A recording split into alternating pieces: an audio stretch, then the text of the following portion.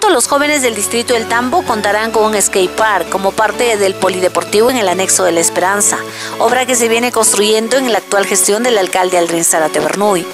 El skateboard o monopatinaje es un deporte que consiste en deslizarse sobre una tabla con ruedas y a su vez poder realizar diversos trucos, gran parte de ellos elevando la tabla del suelo y haciendo figuras y piruetas con ella en el aire.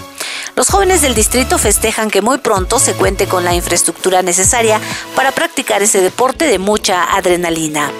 Ajá. ¿Te gusta el deporte? Sí, me gusta. Ajá. ¿Y qué tiempo vienes acá?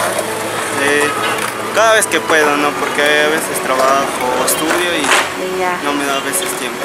¿Qué te gustaría de repente aquí que en el distrito del Tambo hubieran escenarios más para practicar este deporte? Porque realmente no hay, ¿verdad? O sea, no, no hay en el Tambo, pero... Sí, me encanta. Ajá. Bueno, ¿cómo te llamas? John Anderson. ¿Desde cuándo practicas este deporte? realmente estoy comenzando ya el tiempo, o sea, yo le voy a dejar, estoy volviendo de nuevo a, al deporte. A retomar. Adrenalina, ¿verdad? Sí, vamos. Fuerte, fuerte. Yo voy a cuatro meses. Ah, cuatro meses. Porque de hecho no tenemos nosotros acá un lugar, porque hay uno en Chorrillos, pero es demasiado lejos. Algunos no tienen ni siquiera la... Eh, no lo pueden hacer, no, no tienen ni pasaje nada para ir hasta arriba. Claro. Pero sería bueno que abran acá, ¿verdad? zona. De hecho, sería muy bueno. El término más común es el skate, para nombrar el monopatín, tabla sobre la cual se practica el monopatinaje. Está relacionado con la cultura callejera, con el arte urbano.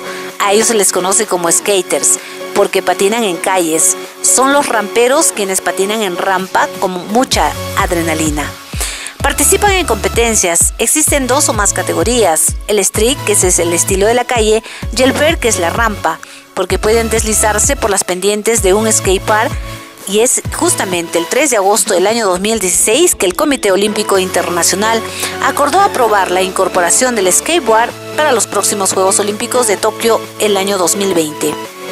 Por tales razones, el burgomaestre Tambino Aldrin Zárate Bernuy tomó la firme decisión de incorporar el skatepark en cada uno de los polideportivos que viene construyendo en el distrito del Tambo, y además de aperturar como una disciplina deportiva que tendrá su orientación con profesores a través de la Sugerencia de Cultura y Deporte.